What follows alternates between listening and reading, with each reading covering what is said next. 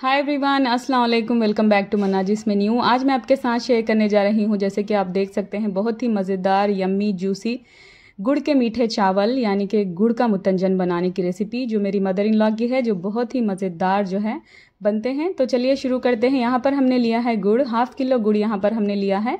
इस तरह से छोटे पीसेस में इसको तोड़ लिया है। अब इसको वॉश कर दें।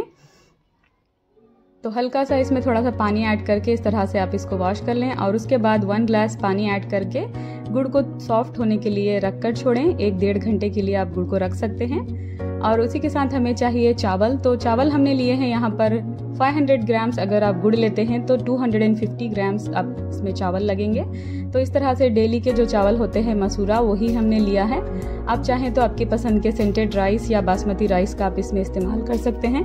जिस तरह से डेली के हम लोग खाना बनाते हैं, चावल बनाते हैं, उसी तरह से चावल को आप पकाएँ। इस तरह से चावल को मैंने चढ़ा दिया है। नमक इसमें बिल्कुल भी ना ऐड करें। इस तरह से चावल को आप पकाएँ। 95 परसेंट तक चावल डन हो और इस तरह से पानी को स्ट्रेन कर लें और चावलों को दम दे दें। तो चावल अब दम हो रहे हैं। तब तक हमने चढ़ा दिया है यहाँ पर गुड़ को। मीडियम फ्लेम पे हल्का सा जो है इसको मेल्ट होने दें। चावल दम हो चुके हैं। इसको फ्लेम को ऑफ़ करके खुले बर्तन में या खुले ट्रे में आप इसको खुला खुला रख कर छोड़ें और उसके बाद गुड़ को मेल्ट कर दें। सिर्फ़ मेल्ट करना है। इसको ज़्यादा पकाने की ज़रूरत नहीं है। जब गुड़ मेल्ट हो जाए फ्लेम को ऑफ़ कर दें। अब बारी है तड़के की।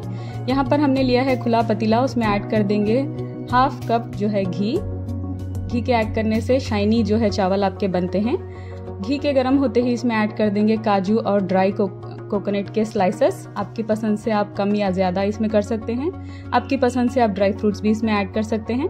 और हाफ़ टी स्पून हमने इसमें डाला है इलायची पाउडर अच्छे से मिक्स कर दें और और उसके बाद इसमें ऐड कर देंगे जो गुड़ हमने घोल के रखा हुआ था, उसको स्ट्रेनर की मदद से स्ट्रेन करते हुए इसमें डाल दें। और बस इस चाशनी को जो है बॉईल होने देना है अब। तो जब इस तरह से गुड़ की चाशनी बॉईल होने लगे, इसमें ऐड कर देंगे चावल को। सारे चावल इसमें ऐड कर दें। और इसको अच्छे से हाई फ्लेम पर पकाएँ। तब तक के सारी चाशनी जो है सोख ना हो जाए। तब तक आप इसको पकने दें। इस तरह से जब ये चाशनी जो है ख़त्म होने लगे सारे चावलों के साथ ये जो है आ, मिल जाए तब फ्लेम को लो कर दें और इस गुड़ के मुतंजन को दम पे दे दें। फाइव टू सेवन मिनट्स के लिए आप इसको दम पे छोड़ दें।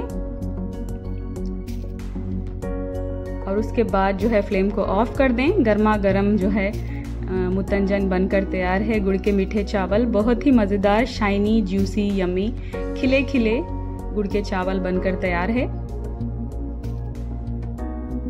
आई होप कि आपको ये रेसिपी जो है पसंद आई होगी। अगर पसंद आए तो हमारे चैनल को लाइक शेयर सब्सक्राइब करना ना भूलना। बहुत ही हेल्दी रेसिपी है, ज़रूर ट्राई करिएगा। फिर मुलाकात होगी ट्रेडिशनल रेसिपीज़ के साथ। तब तक दुआ में याद रखिए। बाय अल्लाह हाफिज़